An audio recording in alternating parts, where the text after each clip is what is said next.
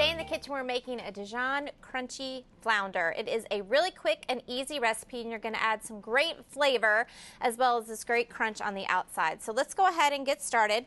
We have our fillets um, our flounder fillets, and you can see they're nice and beautiful. So we're ready to go. You can use any type of mild white fish that you might have or that you like as well. So this is a great recipe. It's really versatile, so you can just kind of adapt it to whatever you and your family like.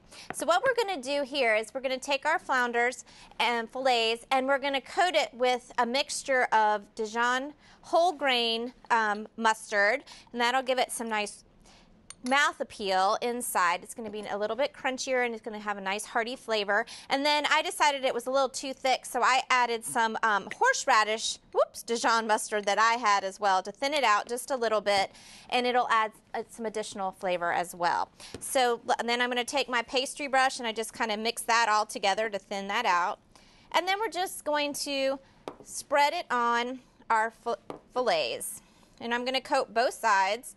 So we're just going to give it a nice healthy coat on one side. We'll turn it over and do it on the other. So this is going to be a nice hidden treasure inside your fillets.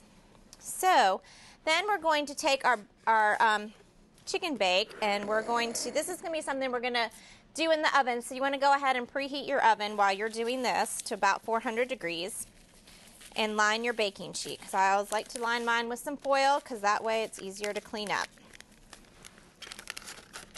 So now that we have our um, breading out on the out on our plate or on our wax paper, we're going to take our Dijon coated sides and we're going to place those onto our breader.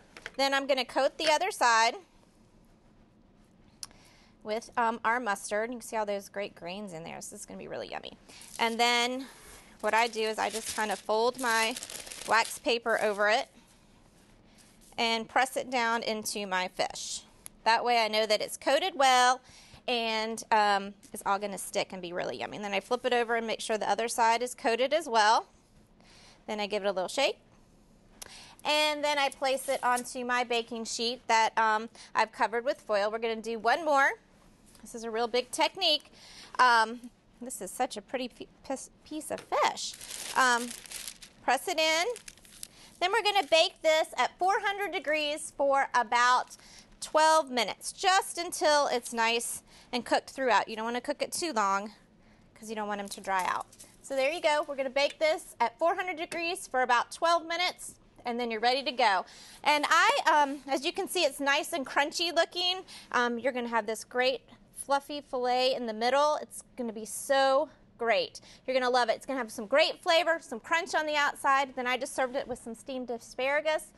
It's a great meal, quick and easy for you when you come home from work, or if you're really super busy, it's just a great, quick, and easy meal. So I hope you enjoy it, and I look forward to seeing you next time here on Simple Cooking.